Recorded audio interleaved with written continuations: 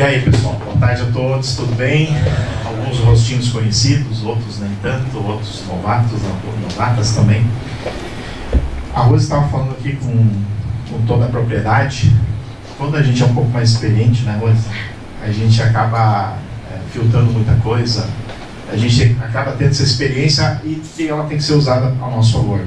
Mas uma das principais coisas que vocês precisam fazer é saber lidar com gente.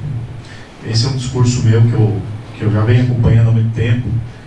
E se a pessoa que vocês forem atender, é, ela pode estar desmotivada, ela pode estar com um problema, ela pode ser ansiosa, ela pode ser até depressiva, mas a gente tem que absorver e saber lidar com gente.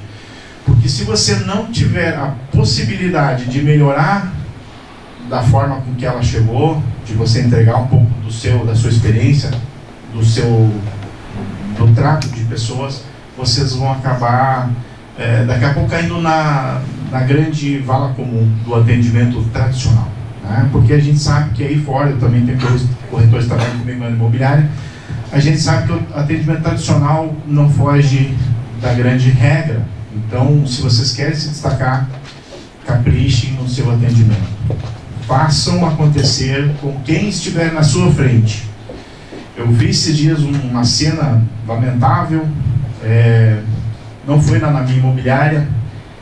Eu estava esperando chegar a minha vez de tirar umas fotos no imóvel e um corretor estava atendendo um cliente numa, numa casa e tocou o celular do, do, do cidadão, do nosso colega corretor. Imediatamente ele não pediu nem licença. Alô? Aí eu fiquei pensando, nossa, esse rapaz aí tá está um pouquinho apavorado para atender mais um, mas não é assim. A pessoa mais importante que você tem que lidar no dia é a pessoa que está na tua frente. E uma dificuldade vai surgir na vida de vocês, no tempo de WhatsApp, é trazer a pessoa do virtual para o real. Não adianta você só ficar publicando, fazendo grandes anúncios e grandes postagens. Você tem que trazer a pessoa para conversar contigo pessoalmente. Nem que for à noite, nem que for no domingo. Então, capriche no atendimento e faça um atendimento que vocês gostariam de estar recebendo, como, como um cliente consumidor. Tá bem? Forte abraço a todos, sucesso na profissão, sejam bem-vindos e bem-vindas.